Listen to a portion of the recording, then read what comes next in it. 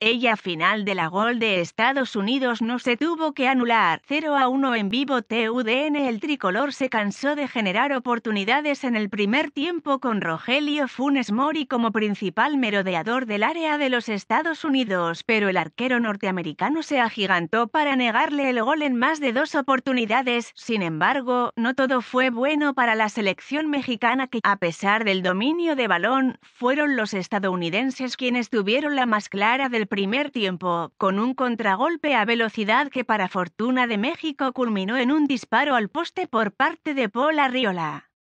Además, Gerardo Martino tuvo que quemar un cambio de manera prematura por la lesión de Héctor Moreno. México buscó el marco sin importar la propuesta al contragolpe de Estados Unidos, pero se marchó al descanso con un empate que hacía pensar en la victoria para el complemento. Luego de 15 minutos de descanso, la selección mexicana llenó de balones el área del cuadro de las barras y las estrellas con la intención de finiquitar el partido desde el inicio de la segunda mitad pero Orbelín Pineda dejó escapar dos opciones inmejorables. Con el pasar de los minutos el dominio de partido se volvió inoperante para México, pues poco a poco comenzaron a aparecer los errores en salida de la defensa tricolor, lo que le permitió a Estados Unidos acercarse a la portería de Alfredo Talavera. Lo que parecía un triunfo sencillo comenzó a ser un calvario, pues Estados Unidos creció en confianza con los errores mexicanos y puso en predicamos la portería de Talavera una y otra vez hasta que el árbitro central decretó el final de los 90 minutos reglamentarios. Durante el tiempo extra la selección mexicana batalló contra su misma presión y una notoria falta de ideas, mientras que los Estados Unidos en su mismo orden trabajo, esperando atrás la oportunidad de salir a contragolpear cuando parecía que todo se definirá desde los 11 pasos. Estados Unidos castigó la falta de contundencia del tricolor con un gol en táctica fija de Robinson al minuto 117 en una calca de lo que sucedió en la final de la Nations League. Lo peor de todo es que la selección mexicana no tiene tiempo para hacer modificaciones mayúsculas, pues en septiembre encarará el inicio de las eliminatorias rumbo a Qatar 2022.